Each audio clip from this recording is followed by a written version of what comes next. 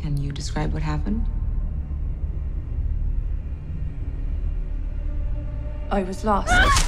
the beast came out of nowhere, held me down, and tried to bite my throat out.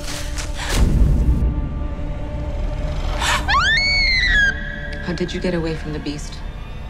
I ran until my feet bled. There's been over 20 attacks around Exmoor in the last two months, and nobody's managed to get a decent shot of the beast. Hello? Ah!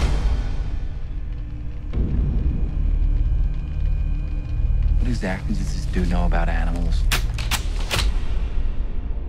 He's got over 20 years' experience tracking big cats in Peru, Bhutan, and South Africa. This way.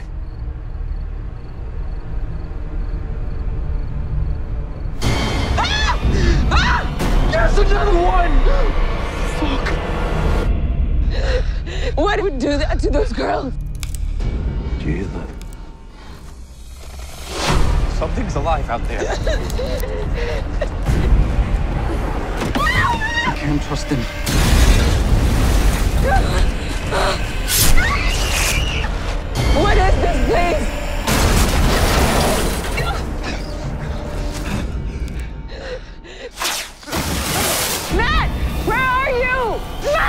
Please! You see something?